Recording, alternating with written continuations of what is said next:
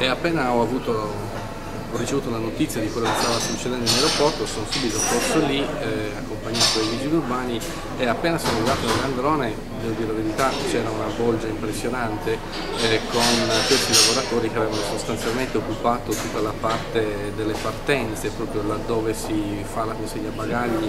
eh, e si accede appunto all'area delle partenze. Lì erano tutti in terra questi lavoratori che con i caschi battevano proprio per significare la loro presenza e eh, circondati da una catena di forze dell'ordine e che eh, li pro proteggevano la parte distante ma proteggevano anche l'accesso poi alla, alle hall delle partenze. E lì subito mi sono rivolto a colui che coordinava eh, le operazioni di forza dell'ordine eh, che, devo dire la verità, mi ha subito dato la disponibilità, una volta mi sono qualificato per essere sindaco di Elmas, mi ha dato subito la disponibilità a eh, varcare eh, quelle porte laddove i lavoratori fossero stati eh, disponibili. E infatti io mi sono qualificato, mi sono presentato ai lavoratori e loro mi hanno subito chiesto di provare a tentare una mediazione eh, nella pista perché appunto c'era il prefetto e il, e il, questore, cosa che ho assolutamente fatto, nel senso che mi sono fatto accompagnare di giù e da un lato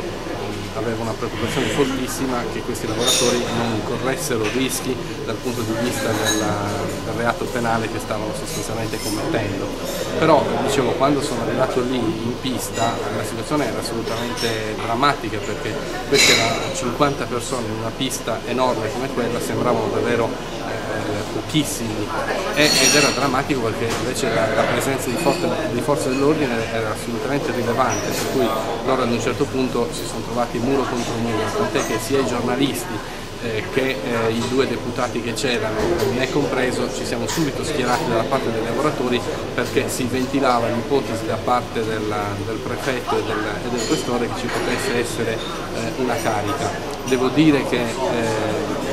il fortissimo senso di responsabilità di ciascuno di noi ha fatto sì che questo non avvenisse. Il prefetto eh, e anche il questore si sono dimostrati dal mio punto di vista assolutamente all'altezza della situazione per cui non hanno perso la pazienza, eh, hanno tenuto i nervi saldi e sono riusciti in quest'opera di mediazione appunto a fare in modo che gli uomini, i loro uomini non intervenissero. Eh, la vicenda si è conclusa appena è arrivata la telefonata che ha ricevuto il, il prefetto da parte del,